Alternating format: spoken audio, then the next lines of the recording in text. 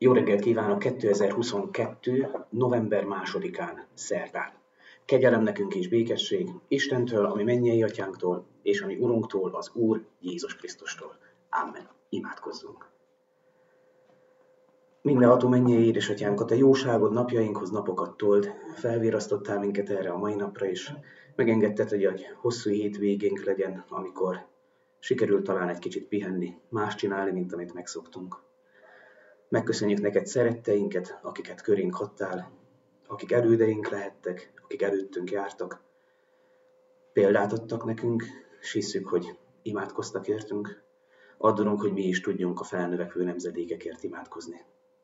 Kérünk, hogy te adj minden gyászolónak vigasztalást. Ha pedig jónak látod, akkor szólíts meg most is minket a te ígéd által. Adj nekünk halló füleket, nyitott szívet és tetre készséget, hogy megtegyük azt, amit Te vársz tőlünk. Vezess minket a jó úton, kérünk. Amen. A mai napra rendelt Ószövetségi igeszakaszt olvasom, Mózes második könyvéből a 26. részt a következőképpen.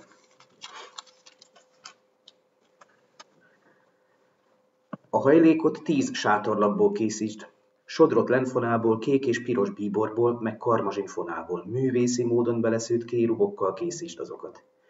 Egy-egy sátorlap hossza 28 könyök legyen, egy-egy sátorlap szélessége pedig négy könyök. Egyforma legyen a mérete mindegyik sátorlapnak. Öt sátorlap legyen egymással összefűzve, a másik öt sátorlap is legyen egymással összefűzve. Azután készíts kék bíbor hurkokat az egyik sátorlap szegélyén az összefűzésénél. Ugyanilyeneket készíts a másik sátorlap szegélyén is, azon a végén, ahol összefűzik. Készíts 50 hurkot az egyik sátorlapot, és 50 hurkot készíts annak a sátorlapnak a szegélyén is, amelyet hozzáfűznek. Egymással szemben legyenek a hurkok. Készíts 50 aranykapcsot, és ezekkel a kapcsokkal rögzítsd egymás, egymáshoz a sátorlapokat, így áll majd össze a hajlék. Azután készíts sátorlapokat kecskeszőrből sátortetőnek a hajlék fölé. 11 ilyen sátorlapot készítes. Egy sátorlap hossza 30 könyök legyen, a sátorlap szélessége pedig 4 könyök legyen. Egyforma legyen a mérete a 11 sátorlapnak. Fűz össze 5 sátorlapot külön, és 6 sátorlapot is külön. A hatodik sátorlap pedig lógjon le a sátor elején. Készíts 50 hurkot az egyik sátorlapnak arra a végére, ahol összefűzik, és 50 hurkot a másik sátorlapnak arra a szélére, és ahol összefűzik. Készíts 50 részkapcsot, és akazd a kapcsokat a hurkokba. Így fűzd össze a sátortetőt egy egészé. Ami pedig a sátortető lapjainak lelógó részét illeti, a lelógó sátorlap fele lógjon rá a hajlék hátuljára. Abból pedig, ami a sátortető lapjainak hosszából túllóg, egy könyöknyi innen, egy könyöknyi onnan lógjon le, vagyis hajoljon, hajoljon rá a hajlék két oldalára, innen is, onnan is, és fedje be azt.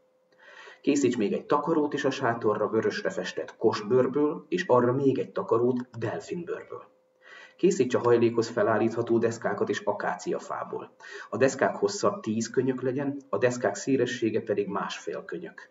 Mindegyik deszkának két csapja legyen, amelyek összekötik egyiket a másikkal. Így készítsd el a hajlék mindegyik deszkáját. Így készítsd el a hajlék deszkáit. 20 deszkát tégy a déli oldalra délfelé. Készíts 40 ezüst talpat a 20 deszka alá, két talpat mindegyik deszka alá a két csapnak megfelelően. Minden egyes deszka alatt két talp legyen a két csapnak megfelelően. A hajlék másik oldalára, az északi oldalra is tégy 20 deszkát. Ezeknek is legyen 40 ezüst talpa, két talp legyen az egyik deszka alatt, és két talp legyen a másik deszka alatt is. Nyugat felől a hajlék hátuljára is készíts 6 deszkát. Készíts két-két deszkát a hajlék két hátsó sarkára. Ezek párosával legyenek egymás mellett, aljuktól a tetejükig szorosan összefogva egészen a karikáig. Így legyen mindkettőnél. Mindkét saroknál így legyen. Legyen tehát 8 deszka ezüst talpakkal, összesen 16 talpal. Két talp legyen az egyik deszka alatt, és két talp legyen a másik deszka alatt is. Készíts reteszeket is akáciafából.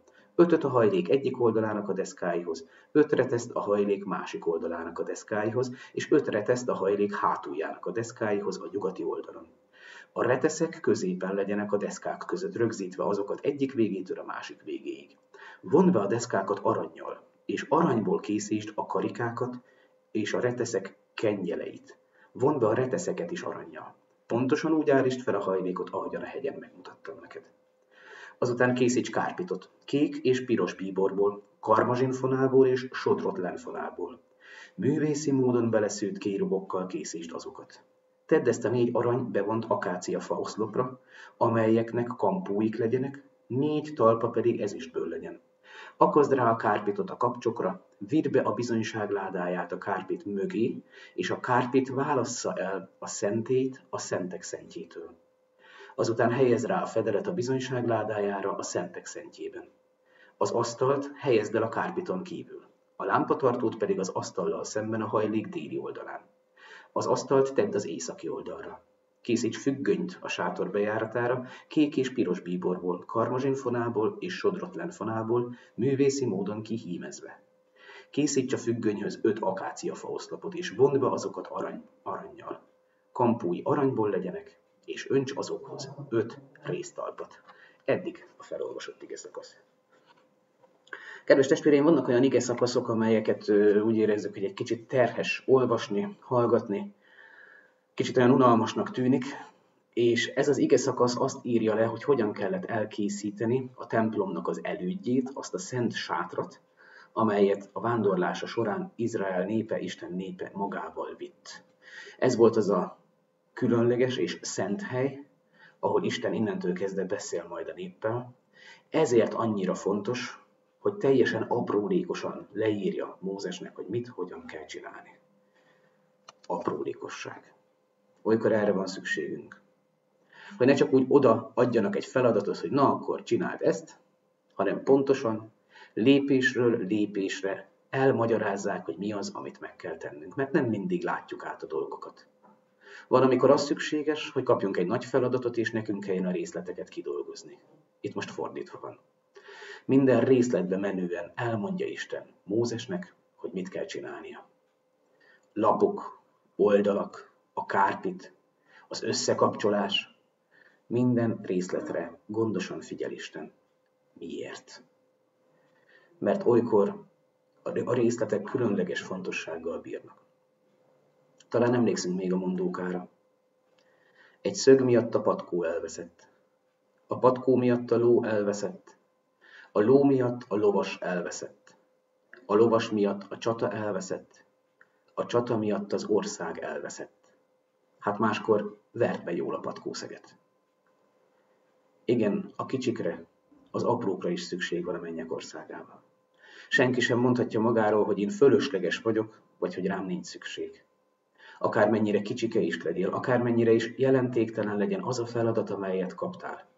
Azért kaptad, mert azt neked kell elvégezni. Isten bármikor kereshet rá mást is, de ő neked szánja. Talán csak egy picike dolog, de akkor is azon méri le hűségedet, hogy hajlandó vagy-e engedelmeskedni neki. Van egy történet, amely egy kis csavarról szól. Ez a címe, egy kis csavar csupán. A kis csavar csak egy volt a sok százezer körül, közül. Két vaslemezt szorított egymáshoz egy hatalmas hajón. Egy nap megszólalt. Elég kényelmetlen helyen van itt. Egy kicsit kinyújtózom, nekem is jár egy kis pihenés. A környező csavarok kétségbe esetten üvöltöttek rá, amikor meghallották, hogy lazítani akar egy kicsit. Megőrültél, kis csavar, ha elengeded a két vaslemezt, mi ketté szakadunk.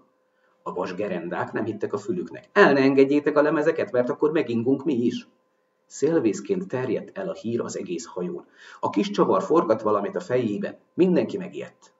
A hatalmas hajótest még a gondolattól is remegni kezdett, hogy a kis csavar kieshet a lyukból. A vékony és vastag vaslemezek, a hajóbordák, a vasgerendák üzenetet küldenek a kis csavarnak.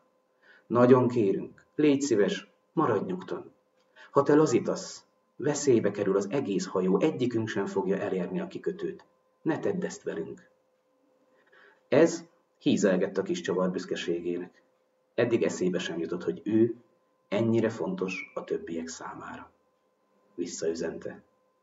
Maradok, ahol vagyok.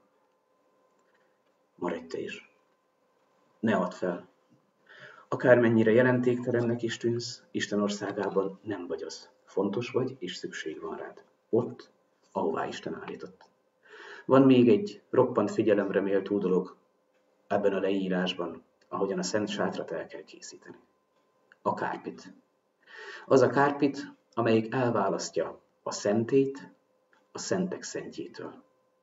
Oda csak is a főpap évente egyszer mehetett be, hogy bemutassa az áldozatot. Jézus Krisztus óta tudjuk, hogy a templom valójában a mi testünk. Jézus Krisztus óta tudjuk, hogy a kárpit, amikor az Úr Jézus a Golgotán a kereszten meghalt, felülről az aljáig ketté hasadt. Ezzel megnyitotta az utat az atyához. Akármilyen kicsike vagy is, mehetsz az atyához. Járuljunk tehát bizalommal a kegyelem királyi trónusához. Mert Isten vár minket, és ő számára fontosak vagyunk, legyen az akár egy kapocs, vagy egy egész sátorlap. Amen. Imádkozzunk. Mindenható mennyei édesatyánk, megköszönjük, hogy Te számon tartasz bennünket. Megköszönjük, hogy olyan feladatot adsz, amit el tudunk végezni, és hogy nem kell nagynak lennünk. Van, amikor nagyobb dolgokat kell tennünk, van, amikor piciket. Ad, hogy hűségesen tudjuk elvégezni mindent, amit ránk bíztál. Köszönjük, hogy van egy hely, ahol találkozhatunk veled, és hogy ez az Úr Jézus óta a szívünkben van, ugyanakkor lehetőséget biztosítasz arra is, hogy közösségbe legyünk veled és egymással a templomban is. Kérünk, te áld meg ezt a hetet, te áld meg az úrvacsorára való készülésünket, te légy velünk mindenben, örömökben és nehézségekben is. Kérünk, te segíts azoknak, akikre valamilyen megpróbáltatás vár. Adj a gyászolóknak vigasztalást, a betegeknek gyógyulást, a háborúban békességet. Köszönjük, hogy meghallgatsz minket az Úr, Jézus Krisztusért, aki így tanított minket imádkozni. Mi, Atyánk, aki a mennyekben vagy, szenteltessék meg a Te neved. Jöjjön el a Te országod. Legyen meg a Te akaratod, amint a mennyben, úgy a földön is. Minden napi kenyerünket add meg nekünk ma, és bocsáss meg védkeinket, miképpen mi is megbocsájtunk az ellenünk védkezőknek. És ne vigy minket kísértésbe, de szabadíts meg a gonosztól, mert tiéd az ország, a hatalom és a dicsőség mind örökké. Amen. Növekedjetek a kegyelemben, és a mi Urunk, üdvözítő Jézus Krisztusunk ismeretében. Ővé a dicsőség, örökkön, örökké. Amen. Áldott napot mindenkinek!